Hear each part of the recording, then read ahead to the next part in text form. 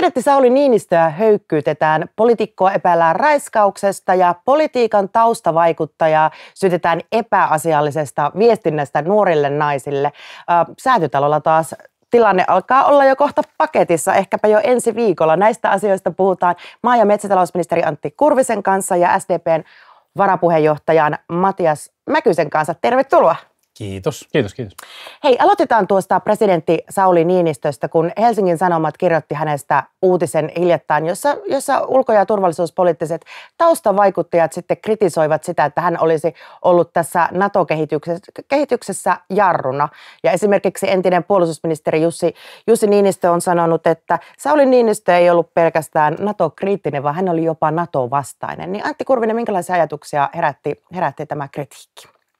No vähän ehkä ihmettelevää, ihmetteleviä ajatuksia, että minusta Sauli Niinistö on ollut erinomainen tasavallan presidentti ja todellinen koko kansan presidentti ja, ja tuota, kyllähän hänen toimintansa Venäjän ja Yhdysvaltojen välissä ja, ja näissä vaikeuksissa ja, ja kamaluuksissa, mitä Krimin, Krimin miehityksestä lähtien on ollut ja, ja siitä lähtien, kun tämä Ukrainan konflikti kunnolla käynnistyi 2014 lähtien, niin on se ollut todella, todella niin kuin merkittävä ihan globaalillakin mittakaavalla. Ja, ja hän on johtanut tätä erinomaista NATO-prosessia, missä Suomen kansa ja Suomen poliittinen järjestelmä on näyttänyt voimansa. Että pidän, pidän vähän semmoisena jälkiviisasteluna tätä, tätä, ja mulla ei ole mitään, enkä tiedä kyllä kenenkään keskustalaisen ainakaan huomauttaneen mitään kielteistä Sauli Niinistön toiminnasta, päinvastoin. Mitä sanoo Matias Mäkynen? Niin, kyllä ensimmäinen ajatus itsellänikin oli, että nyt on vähän tämmöistä katkeran jälkiviisastelun makua. Ja tota, käydään keskusteluja, jotka on aika luottamuksellisia ja, ja ehkä jopa niin kuin salaisia menneiden vuosien ajalta. Ja se vähän niin kuin yllätti. Mutta sitten toisaalta ehkä niin kuin sekin näkökulma on tärkeä, että yhteiskunnassa pitää pystyä katsomaan kriittisesti myös lähihistorian ratkaisuja. Ja mikään toimija yhteiskunnassa ei voi olla niin pyhä, että ei kestäisi arvostelua. Että, että sinänsä se on tervettä kulttuuria, että asioista voidaan myös keskustella, mutta ehkä se tyyli on sitten toinen kysymys. Niin Sauli Niinistöhän on itse asiassa kohdeltu aika kritiikittömästi, mm. että häntä ei ole kauheasti kurmotettu tässä hänen, hänen tuota presidenttiytensä aikana. Esimerkiksi Ulla Appelsiin Ilta Sanomien päätoimittaja kirjoitti tänään, että, että tämä ei ole ollut pelkästään Sauli Niinistöllä, vaan myöskin Tarja Halosella ja Ahtisaarella ja Koivistolla. Että ainoastaan Kekkosta, Kekkosen kautta on nyt niin perattu. Niin onko tämä mm. niin tämmöistä, että Suomessa ei oikein noita presidenttiä uskalleta kauheasti kritisoida? Tätä niin poikkeuksellista. Eh, ehkä se kuitenkin, vaikka me viimeistään voimassa olevan perustuslain vuoden 2000 perustuslain oloissa ollaan menty hyvin parlamentaariseen järjestelmään, silti suomalaisilla on ehkä sellainen kulttuuri, että presidentti on, on meidän muiden poliitikkojen yläpuolella, että ministeriöitä tulee ja menee, mutta, mutta presidentti on, on muiden yläpuolella. Ehkä tähän koko asetelmaan voisi sanoa näin, että ainahan on jälkikäteen niin kuin helppo arvostella, mutta että jokainen, joka on ollut tekemässä päätöksiä, erityisesti politiikassa, mutta miksei vaikka bisneksessäkin, niin tietää, että päätökset tehdään aina niillä tiedoilla, joita silloin käytettävissä on. Ja mun mielestä, jos katsotaan Suomen ulko- ja turvallisuuspolitiikkaa itse asiassa jo toisen maailmansodan jälkeen tai viimeisen 20-30 vuoden aikana, niin minusta Suomessa on aika hyvin tilanteita hyödynnetty. Itse asiassa osa asiantuntijoista on sanonut sitäkin, että vaikkapa Neuvostoliiton kaatuessa Suomi toimi erittäin päättäväisesti ja tehokkaasti ja, ja fiksusti heti YYA-sopimuksesta eroon, kun oli mahdollista ihan, ihan, ihan todella nopeasti, nopeasti Euroopan unionin jäseneksi. Ja, ja myöskin esimerkiksi tätä NATO-yhteistyötä on syvennetty koko ajan pikkuhiljaa.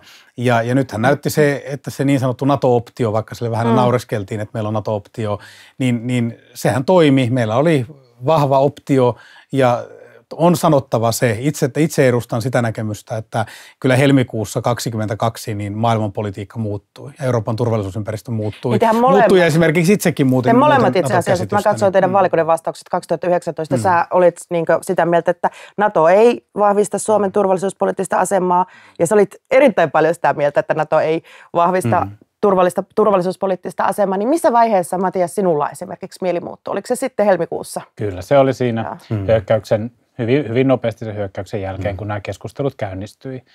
Ähm, hyvin pitkälti on samaa mieltä siitä, mitä Antti sanoi, että tätä NATO-optiota nyt kovasti kyseenalaistetaan, oliko sitä koskaan, mutta, mutta mun mielestä tämä tilanne voidaan tulkita myös niin, että NATO-optio nimenomaan toteutui mm, ja se, se nimenomaan hyödynnettiin. Ähm, tästä presidentin asemasta vielä, niin meillähän presidentinvaaleissa äänestysaktiivisuus on korkeampi kuin muissa vaaleissa. Presidentti valitaan aina, yksi henkilö saa aina yli puolet kansan äänistä, hmm. niin, niin kyllähän se tekee siitä presidentistä selvästi niin kuin koskemattomamman tai, tai myös media selvästi niin kuin hmm. arvostaa ja antaa se, onko se sitä demokratian tilaa. kannalta ongelma? No se on samaan aikaan hienoa, että kansalaiset äänestää, käyttää äänioikeutta ja arvostaa niin kuin poliitikkoa, mutta ei kukaan saa olla koskematon. Että kyllä siinä demokratiassa myös se kritiikki ja keskustelu kuuluu ä, asiaan. Toisaalta meillä on myös niin, että nyt uuden perustuslain aikana meillä on ollut kaksi presidenttiä, jotka on istunut täydet 12 vuotta. Hmm. Meillä on niin kuin kaksi henkilöä vasta viimeisen niin kuin koko 2000-luvulla, jotka on presidenttinä toiminut. Niin se on aika vähän. Mm. Puhutaan hetki ihan presidentinvaaleista. Nythän tänään kävi ilmi, että Pekka Haavisto, yllätys, yllätys, lähtee mukaan presidentinvaaleihin. Onko se nyt sitten keskustan ehdokas Olli Rehn vai ketä sinä toivot? No katseet on tietysti voimakkaasti kiinnittyneitä Olli Rehniin, mutta henkilökohtaisesti toivon todella kovasti, että Suomen Pankin pääjohtaja tohtori, tohtori Rehn ehdokas olisi ja voisiko sanoa näin tällä lailla vähän niin kuin rekrytointitermein, että, että hänellä on sellainen ansioluettelo, hänellä on sellainen CV, jolla tasavallan presidenttinä menestyksekkäästi voisi toimia. Ja kyllä kovasti toivon, toivon että, että hän ehdolle lähtisi ja vaikka nyt esimerkkinä voin sanoa, että vaikkapa oma piirini, Etelä-Pohjanmaan keskusta piiri, piiri niin tuota, aika spontaanistikin otti keväällä vuosikokouksessa kantaa, kantaa Reenin presidenttiehdokkuuden puolesta. Ja siellä oli musta semmoista innostusta, innostusta aistittavissa piirikokouksessa hänen ehdokkuudestaan. Ja, ja minusta hänellä olisi edellytykset jatkaa Halosen ja Niinistön tällaista pitkää linjaa, mistä, mistä Matias tuossa äsken, Matias Mäkynen tuossa äsken sanoi, että hänellä on kansainvälistä taustaa, hän on myös kokenut poliitikko, itse edustan sitä näkökulmaa varmaan, kun itsekin on pitkään ollut politiikassa, että mun mielestä presidenttinä tulisi olla kokenut poliitikko, koska presidenttiyskin on politiikkaa. Ei ole kauheasti ja ulko, ulko, myöskään Olli Rehnillä, että aika semmoinen tasainen, tasainen tallaaja. Niin, ja hänellä on kansainvälistä taustaa todella, todella voimakkaasti EU, EU-kuvioista ja, ja tota, hän on ministerikokemusta ja, ja hän, hän on pitkälle opiskellut mm. kielitaitoinen ihminen, no niin. että us, uskoisin, että hän olisi hyvä presidentti. Toivotaan, että hän lähtee. Miten Matias, teillä on tuota, teidän suosituin poliitikko Sanna Marin kieltäytynyt monta kertaa, että ei nyt halua lähteä, aika ei ole vielä oikein, niin ketä sinä toivot SDP-ehdokkaaksi? Sanna Marinilla on varmasti vielä paljon tehtävää niin kuin ennen, ennen kuin hän mahdollisesti joskus presidentiksi päätyisi. Se on ehkä tällainen kuitenkin viimeisiä tehtäviä poliitikouralla. Kyllä mä toivon Jutta Urpilaista, että tietysti ei pelkästään, että hän on meidän molempien vaalipiiristä, tuolta Vaasan vaalipiiristä, vaan Jutta on nyt koonnut myöskin tätä kokemusta ensin ministerinä, valtiovarainministerinä ja, ja puoluejohtajana Suomessa, mutta nyt sitten viime vuodet komissaarina hyvin kansainvälisesti niin kuin ympäri maailmaa luonut näitä kumppanuuksia mm. Euroopan unionille. Että kyllä toivon, että Jutta Urpilainen tähän myöntävästi vastaisi, mutta hänen, hänenkin pohdintansa on edelleen ilmeisesti kesken ja ei ole sen enempää ainakaan itselläni käsitystä, että mihin hän lopulta päätyy. Mm. Tuota, nyt on viikon sisällä nähty kaksikin politiikkaan ja tämmöisen siis epäseksin tai epäasialliseen käyttäytymiseen liittyvää uutista. Kokoomus, kokoomuksen Matias Pajulaa epäillään raiskauksesta ja pitkäaikainen demarivaikuttaja Taage Lindberg on lähettänyt epäasiallisia viestejä nuorille naisille ja käyttäytynyt epäasiallisesti heitä kohtaan. Maikkari, Maikkari kertoi, oli haastatellut sitten näitä. Kyse on tämmöisestä ahdistavasta mentorointitarjouksista ilmeisesti. Niin Antti, mistä tämä kertoo, että politiikassa nyt riittää tämmöisiä uutisia? Tuoreessa muistissa vielä tuo Helsingin Sanomien juttu Ville Rydmanista. No tietysti itse mun mielestä kaikkien on syytä aina muistaa, että kun epäillään rikoksesta, niin tietysti meillä on Suomessa syyttömyysolettama, niin kuin pitää länsimaissa oikeusvaltiossa olla, että ketään ei pidä leimata ennen kuin on prosessi loppuun asti että en halua sillä lailla ottaa kantaa – kantaa esimerkiksi tämmöisiin rikosepäilyihin, mitä on niin julki, julki tullut, se on viranomaisten tehtävää. Mutta varmaan se, mistä nämä nyt kertoo, on vaikea sanoa, että onko kyse yksittäistä tapauksista vai, vai jostakin la- laajemmasta, en tiedä, mutta varmaan se nyt ainakin sen kertoo, että tämmöisiä asioita, niin, niin tällä siinä on täydellinen nollatoleranssi, niin kuin pitää ollakin, ja nyt se on niin kuin todellista, että aina nollatoleranssista puhutaan, mutta, mm. mutta tuota, kaikenlainen tällainen seksuaalinen hyväksikäyttö ja, ja joku tällainen valta-aseman väärin, väärinkäyttäminen, niin sellaista ei vaan, niin kuin, se ei ole hyväksyttävää, hyvä niin, hyvä mm. niin. Että varmaan sen se nyt ainakin, ainakin kertoo, jos, jos kertoo, vaikea sanoa, onko tapausta vai mitä. Matias, miten sä ajattelet Taage Lindbergistä SDP-varapuheenjohtajana? No oikeastaan vähän sama tyylin kuin Antti, että tällaiset tapaukset syytökset ja epäilyt on aina todella vakavia, että puoluetoiminnan pitää olla turvallista kaikille ja, ja tällaiset ahdistavat, häiritsevät tai vallan väärinkäytöksiin liittyvät tapaukset pitää aina selvittää tosi juurta jaksaen ja, ja niin, kuin niin, että saadaan kaikki mahdollinen tieto. Öm, kun tämä tie, tästä tapauksesta tieto on tullut SDP, niin siitä on välittömästi käynnistetty tämmöinen selvitys ja se on edelleen käynnissä, että minkä, mistä kaikesta tässä lopulta on, on kysymys. Öm, aina kun on valtaa, niin on mahdollisuus myös käyttää sitä väärin ja, ja si, mm. tämmöinen valta-asetelma, jossa ikä ja kokemus ja, ja verkostot on erilaisia, niin, niin se on haavoittuvainen asema nuorelle ihmiselle, jos joku e-, esittää, että pystyy vaikuttamaan esimerkiksi toisen urakehitykseen tai muuhun. Ja, ja sen takia politiikassa on tosi tärkeää, että nämä säännöt on selvät, että vastuut on selvät ja, ja myös se, että jos tämmöisiä väär, väär, niin väärinkäyttäytymisepäilyksiä tulee, niin ne otetaan aina vakavasti. Niin. Milloin sinä kuulit tästä? Kuulin tämän viikon alussa. Se on kuitenkin ja, jatkunut vuosia, mm. tosi pitkään, niin miten se on mahdollista, että SDP no tästä, tästä kirjoitin tota, myös omassa Facebookissani, että kyllä se sinänsä on epäonnistuminen, että jos tämmöistä väärinkäytöstä tapahtuu, että ihmiset, jotka sitä häirintää tai, tai epäasiallista käytöstä kokee, ne eivät koe, että voivat siitä ilmoittaa tai, tai tehdä. Ei niiden ihmisten ehkä kuulukaan ilmoittaa sitä SDP-varapuheenjohtajalle tai SDP-johdolle, vaan meillä on siitä ihan niin kuin työntekijät sitä varten nimetty, joille näistä asioista voi luottamuksellisesti ilmoittaa, eikä niiden välttämättä koskaan tarvitse tulla mun tietoon, jos nämä ihmiset ei niin halua, että et kyllä tämmöiset häirintätapaukset on kuitenkin niin vakavia ja henkilökohtaisia, että ei niiden, se on, se on aina niin kuin epäluottamus, epäluottamuksen osoitus meille puolueyhteisönä, jos ihmiset kokee, että he joutuvat julkisuuden kautta näitä tuomaan esiin. Mm. Et silloin meillä ei riittävän hyvin vielä tunneta tai, tai ole vakinaistunut nämä tämmöiset sisäiset ilmoituskanavat. Ja miten, miten tämmöisiä asioita voisi ehkäistä tulevaisuudessa, että näitä ei tulisi enempää? Mitä, mitä, mitä pitää tehdä? No tämä MeToo-keskustelu, joka on eri aloja nyt käynyt läpi Suomessakin, niin, niin onhan se varmasti madaltanut kynnystä siihen, että ihmiset miettii, että mikä on hyväksyttävää käytöstä, mitä mun itseni pitää sietää, ja, ja toisaalta sitten, että miten eri organisaatiot ottaa näitä ilmoituksia vastaan ja käsittelee niitä. Et varmasti se suhtautuminen on puoli ja toisin muuttunut vakavammaksi. Mm. Ja, ja nyt tämä on tämmöinen prosessi, jossa tavallaan luodaan sitä luottamusta ja uskottavuutta sille, että näihin aina suhtaudutaan vakavasti ja näistä voi jo ilmoittaa, eikä se ole varsinkaan sen uhrin vika missään tapauksessa, jos jotain tapahtuu. Aivan. Tota, tänään ilmestyi Ylen uusin äh, puoluekannatusmittaus. Siellä keskustan kannatus oli taas vajonnut alle 10 prosenttia, se oli 9,7. Niin, ja tuolla säätytalolla olevien puolueiden kannatukset oli pikkasen noussut ja SDP oli pysynyt melkein, melkein samassa, että 0,3 prosenttiyksikkö oli vissiin mennyt alaspäin, mutta että aika lailla samassa. Niin, mitä, kai, mitä tuota Kurvinen ajattelet tästä keskustan tulasta? No itse asiassa ajattele mitään uutta. Ei ole mun mielestä niin kuin ihan kaikki on merkityksetöntä, irrelevanttia, niin kuin se hallitusohjelma on saatu valmiiksi, että sittenhän tämä keskustelu vasta lähtee liikkeelle. Että Nyt vähän käymistilassa. Se, niin, se mm. kansanomainen sanonta jäiren polttelu, niin se ei ole kovin, kovin kaukana tästä tilanteesta, mikä varmasti keskustella sosiaalidemokraateilla nyt on ja muillakin, jotka eivät ole säätytalolla. Et sinänsä mun mielestä ää, tämä hallitusneuvotteluprosessi on ollut hyvä kansa äänesti oikeistopuolueita, kokoomusta, perussuomalaisia. Selkeästi haluttiin muutos ja käänne. Ja nyt sitten on aika sekä lunastaa lupaukset, että sitten myös näyttää, että oliko syytöksille perää. Eli itse ainakin keskustalaisena koen niin, että sekä oikeastaan varmaan RKPtä lukuun ottamatta kaikki tulevan hallituksen puolueet, puolueet esittivät aika, aika raskaita syytöksiä erityisesti keskustaa kohtaan ja lupasivat aika aika isoja lupauksia ihmisille. Ja nyt sitten odotamme suurella mielenkiinnolla, että pystytäänkö niitä lunastamaan, etenkin perussuomalaisten.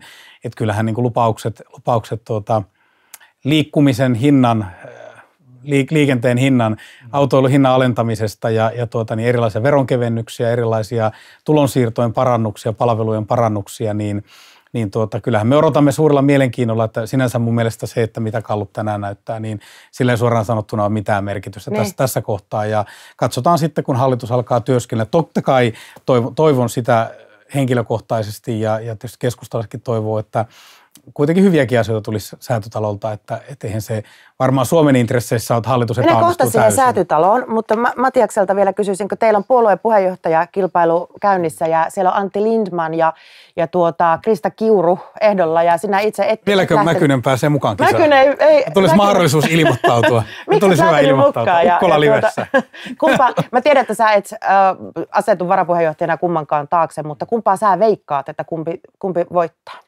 Mä en, tässä vaiheessa, veik- mä en tässä vaiheessa veikkaile, mutta tota, itse asiassa mä en voi enää ilmoittautua mukaan ainakaan tähän jäsenäänestykseen, että siinä meillä meni alussa.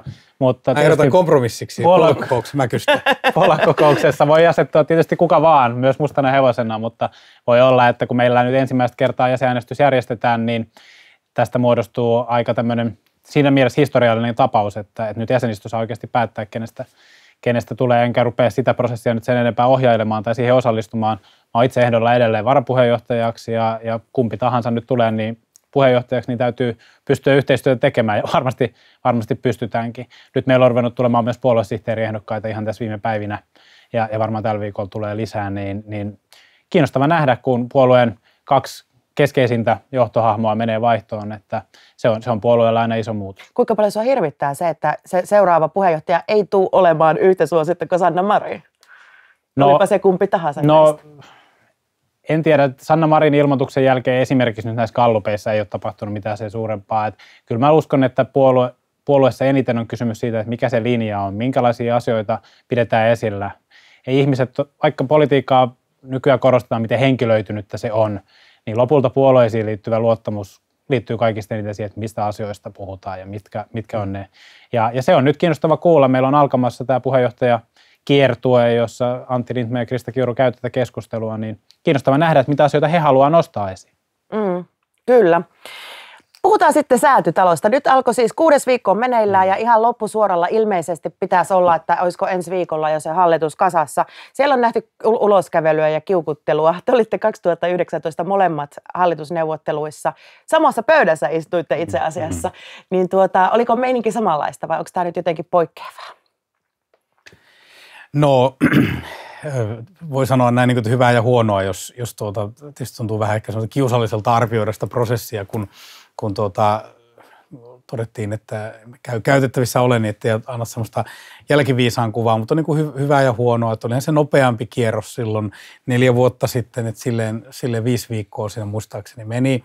Eli, eli nythän ollaan niin kuin paljon pidemmällä, neuvottelut on kestäneet, että se on ehkä sillä lailla, että on ollut ehkä takkuisempaa kuin meillä oli, mutta sitten ehkä se on sanottava plussana tälle porukalle, että mm. kyllähän se, että sieltä ei ole mitään vuotanut julki, tiedän, että toimittajia se ärsyttää, kun pitäisi saada joka päivä mm. useammat uutiset, mutta kyllähän se on hyvä merkki ja siitä niin. pitää antaa kyllä niille neljälle puolueelle niin kuin pisteet, että kyllä mun mielestä tässä niin voisi vois tuota sekä SDP että keskusta kummatkin niin kuin vähän mennä peili eteen ja, ja ehkä vähän tehdä jotakin katumusharjoituksia siitä, että kyllä tuo niin kuin edellinen hallitus niin kuin oli sellainen vuotohallitus, niin kuin, niin kuin tuota, oikeastaan jo se lähti sieltä hallitusneuvotteluista, että se ei, siellä ei pysynyt, pysynyt ne asiat ja, ja, ja, se ei ole kyllä hyvä juttu, että mm. vaikka se on kiva niitä, niitä tavallaan politiikan huhuja kirjoitella, kirjoitella näkökulmiin, niin, niin ei se niin kuin sitä hyviä päätöksiä niin kuin Suomen eteen tee, että tällaisia voisi nyt arvioida vähän, vähän ehkä kiusallisen, kiusallisen besservisserinä tätä sivulta.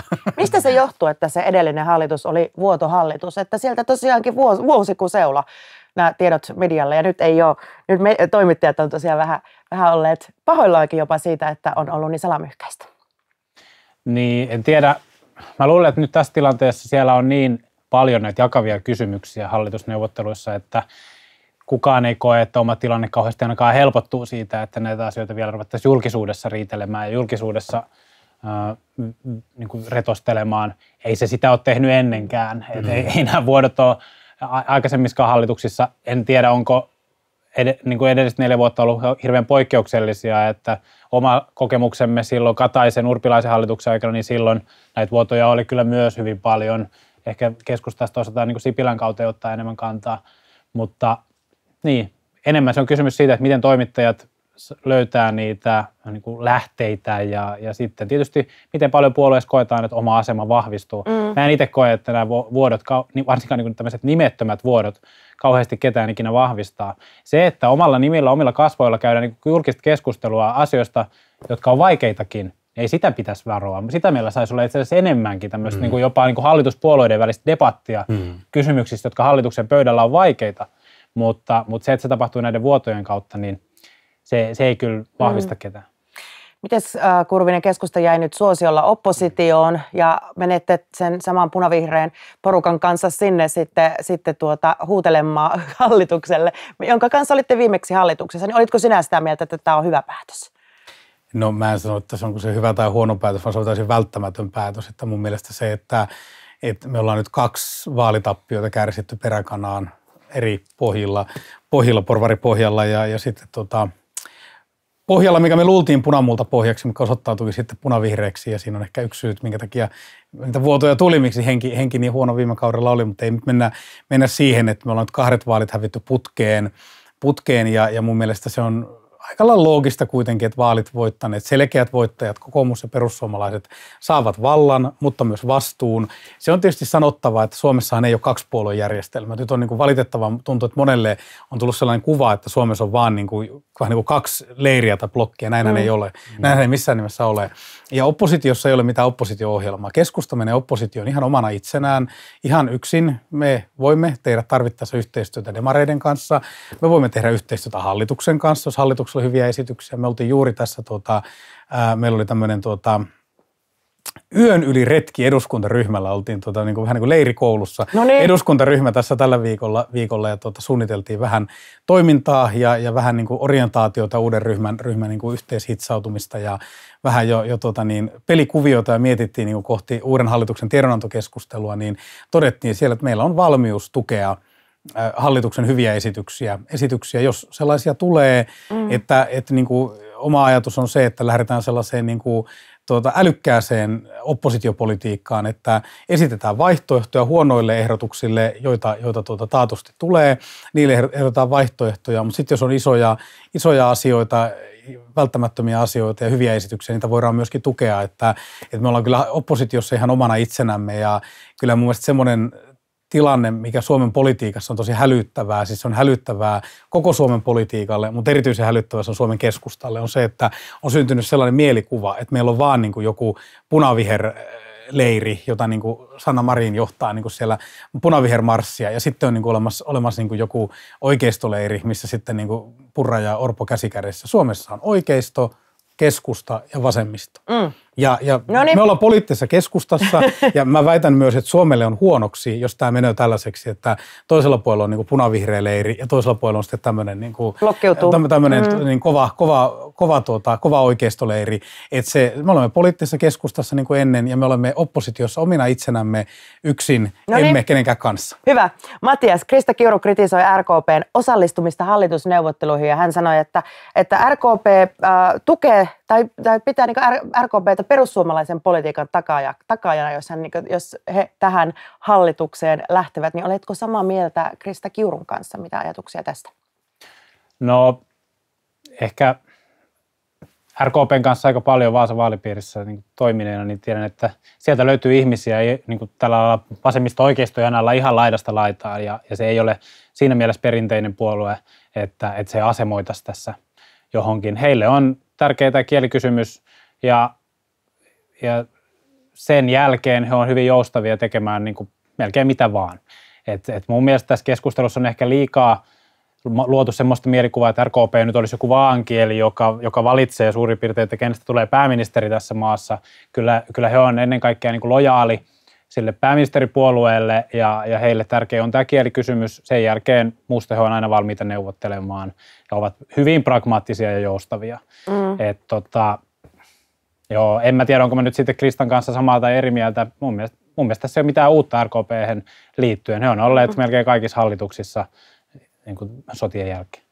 Perussuomalaiset vaatii työperäiseen maahanmuuttoon tulorajojen nostoa ja, ja tuota, säätytalolta tihkuneiden tietojen perusteella se tuloraja olisi nyt nousemassa 1600 euroon, kun se tällä hetkellä on ollut 1331 euroa, taisi olla se tarkka summa. Niin minkälaisia vaikutuksia tällä on, Antti?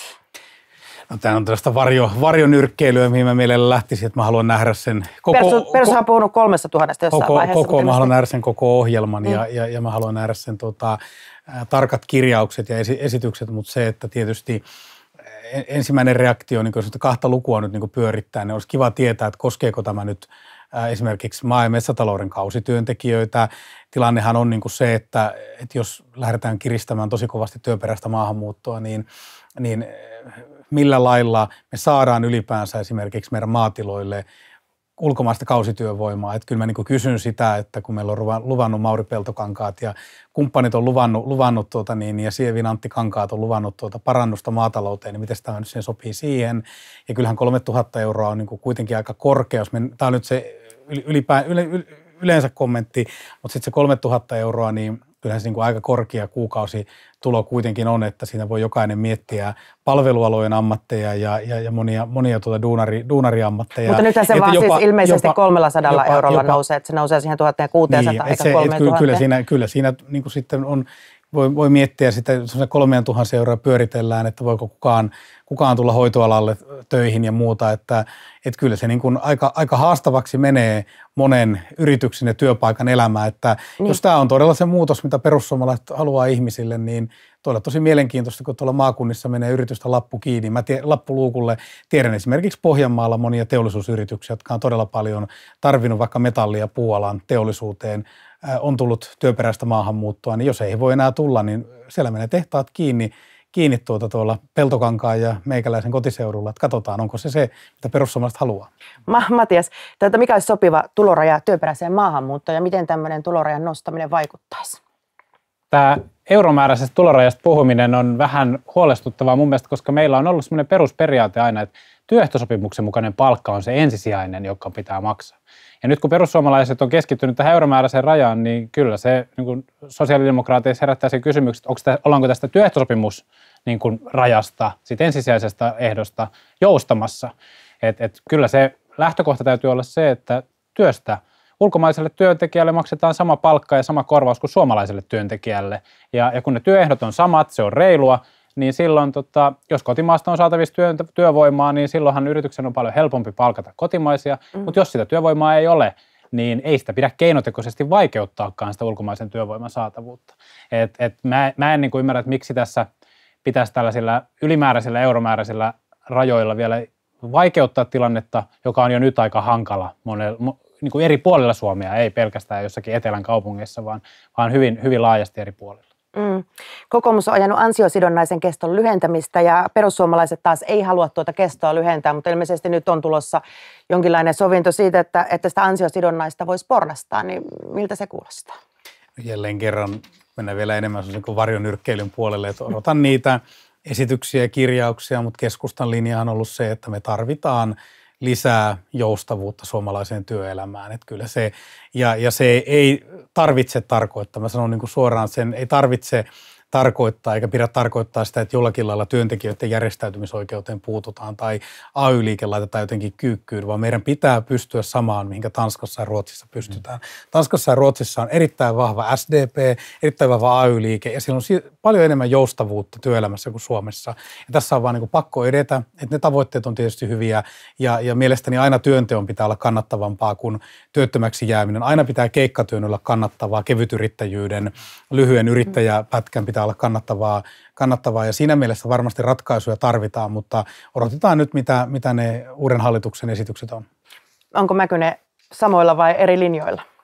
No, kyllä, sinänsä tästä pohjoismaisesta kehityksestä pitää ottaa mallia, että tämä vuoropuhelu, yhteistyö työmarkkinoilla ja, ja taloudessa pitää toimia paremmin, että ei me voida, ei ole olemassa oikeastaan edes mitään sellaista mallimaata, jossa yksi osapuoli, esimerkiksi työnantaja, nyt vaan pystyisi hyvin vapaasti kilpailuttamaan, että kuka suostuu matalimmalla palkalla tekemään tämän työn. Tai Kukaan sitä on esittänyt ei, sellaista. Mutta jos me niin otetaan, otetaan esimerkiksi Suomen yrittäjien malli, jossa ei ole välttämättä työntekijäedustajaa, ei ole työ, yleissitovaa työehtosopimusta, vaan nimenomaan kaikesta mahdollisuus paikallisesti sopia hyvin, hyvin vapaasti, niin siinä on olemassa riskejä, eikä tällaista, maa, tällaista mallia esimerkiksi Euroopasta tällä hetkellä löydy, vaan kyllä me tarvitaan nimenomaan tämmöinen yhteistyön malli työmarkkinoille, ansiosidonnaisen kehittämisessä ansiosidonnainen on etuuksissa tällä hetkellä se, josta ihmiset työllistyy kuitenkin aika nopeasti, niin kuin kaikista nopeimmin. Meidän isoimmat ongelmat on siellä ihmisissä, jotka jää pitkittyneesti meidän sosiaaliturvan kyllä. varaan, toimeentulotuelle, peruspäivärahalla, peruspäivärahalla ja niin edelleen. Että kyllä siihen joukkoon kannattaisi nyt katse kiinnittää, mitkä ongelmat siellä on. Siellä ollaan jo niin pienellä toimeentulolla, että se ei ole kenellekään niin kuin huvia mm. tai kivaa, vaan siellä on yleensä terveysongelmaa, vanhentunutta koulutusta, tai sitten asutaan alueella, jolla ei ole sitä omaa koulutusta vastaavaa työtä, ja pitäisi olla parempi kannusti joko muuttaa pois tai sitten synnyttää työtä sille alueelle. Tuleva hallitus saattaa poistaa oikeuden vähentää ammattiyhdistysliikkeiden jäsenmaksut verotuksessa ja se kasvattaa vuotuisia verotuottoja 220 miljoonalla. Niin miltä tämä kuulostaa? No, Varjo nyrkkeilyltä. No katsotaan, että tuleeko sitä esitystä, palataan sitten. Niin, jos lupaus on ollut, että palkansaajien verotus ei nouse, niin tämä on palkansaajien verotuksen nosto. Vaikka se jotenkin kompensoitaisi yleisessä tuloverotuksessa, niin silti se tulee käytännössä tarkoittamaan sitä, että liittojen jäsenten verotus nousee, ja, ja se ei ole ihan pieni joukko suomalaisia palkansaajia, joiden verotus silloin nousee. Mm. Että tämä on ensinnäkin näiden porvaripuolueiden tota, lupausten vastaista, mutta kyllähän se ennen kaikkea on niin kuin isku suomalaista järjestäytynyttä työmarkkinaa vastaan ja, ja se tarkoittaa tämän yhteistyön heikkenemistä ja, ja se on ehkä se kaikista vakavin asia, että luottamusta suomalaisiin työmarkkinoilla heikennetään. Sillä on vaikutuksia, jotka lisää epävarmuutta, lisää lakkoja, se lisää niin kuin, epävakautta ja on meidän investointiympäristöllekin huono asia. Minkälaisia terveisiä haluat, äh, Antti, lähettää tuonne säätytalolle? niin, kyllähän se, mitä ehkä, ehkä niin kuin, e, ensimmäinen on spesifimpi terveen, että tietysti kun vielä joitakin päiviä tai viikkoja, kuinka tämä prosessi nyt kestää, niin toimin, toimin niin kuin maataloudesta ja metsätaloudesta ja ma- maaseudusta vastaavana ministerinä, niin tietysti niin kuin on, on nyt vähän huolta siitä, että kuinka nämä leikkaukset kohdennetaan, mitä täytyy tietysti tehdäkin, siis se on sanottava toki niin kuin keskustan näkökulmasta, että on ihan oikein, että leikataan, se on, se on välttämätön ratkaisu tässä kohtaa, mutta mittaluokka on toinen kysymys ja kohdentaminen on sitten myöskin, myöskin se kysymys, mutta onko sitten niin, että ratkaisut tehdään sillä tavalla, että pienemmissä kaupungeissa ja kunnissa asuvat ihmiset siitä joutuu kärsimään? Ja tietysti on sitten se kysymys, että kyllä semmoisia niin aivan, aivan tuota meinas tippa tulla linssiin, minkälaisia seirenipuheita kokoomukselta ja perussuomalaisiltakin tuli esimerkiksi ää, suomalaisen ruoan osalta, että, että miten nyt ollaanko siinä valmiita etenemään. Mä oon omalta sektoriltani vain yhden toiveen esittänyt säätötalolle myös julkisesti sen, että tämä oikeudenmukaisempi tulonjako ruokaketjussa etenisi, että kilpailulaki avattaisiin kaupan näkökulmasta. Se on mielenkiintoinen juttu.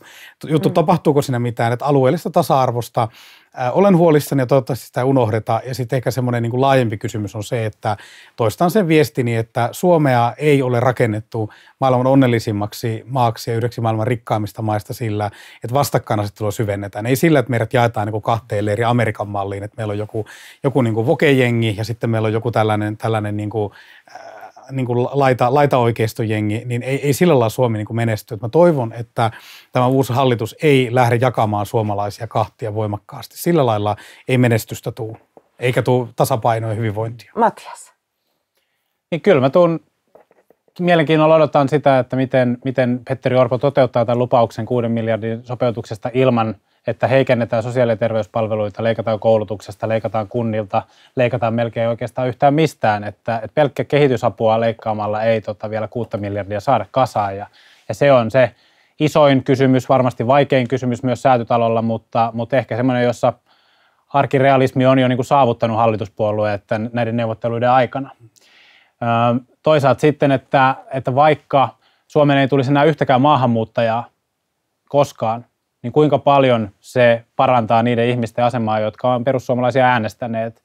Ja, ja varsinkin, jos sitten samaan aikaan tehdään nämä kuuden miljardin leikkaukset, että, että kyllä tässä... Sopeutukset. Sopeutukset, anteeksi, on mm. neljä miljardia vaan leikataan ja, ja kuusi miljardia sopeutetaan, mutta kyllä tämä hyvin kiinnostava on odottaa, että minkälainen hallitusohjelma tulee ja miten nämä lupaukset täytetään, mutta tota, no, on itsestään selvää, että oppositiossa tuetaan hallituksen hyviä esityksiä. Niin teki myös kokoomus ja perussuomalaiset viime kaudella. He korona-aikana Venäjän mm. hyökkäyssodan jälkeen tukivat monia menolisäyksiä, suurinta osaa menolisäyksistä, joita hallitus viime kaudella teki. Mm. Ja, ja tota, perussuomalaiset melkein yli 95 prosenttia näistä menolisäyksistä on allekirjoittanut, kokoomuskin yli 90 prosenttia, niin nyt sitten nähdään, että miten hyviä esityksiä he saavat. No niin. Ehkä yhden voisi vielä heittää on se, että leikkausten lisäksi kannattaisi miettiä myös tulopuolta.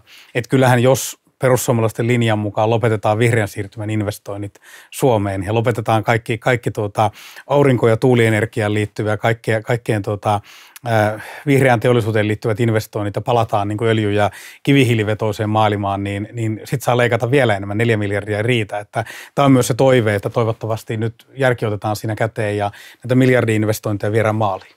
Niin, vihreitä, vaan vaihtuu. Eihän vihreitä tai puhdasta siirtymää. Puhdas siirtymäkin käy, kunhan näitä, näitä, näitä tuota, uusiutuvia, uusiutuvan ää, lähteiden ja energian investointeja viedään eteenpäin. Hyvä. Hei, kiitos teille herrat oikein paljon. Tota, mennä, jäädään sitten odottelemaan ja kiitos katsojille, jäädään odottelemaan ensi viikkoa, että josko silloin olisi jo hallitus kasassa torstaina, saa nähdä. Mutta silloin nähdään. thank you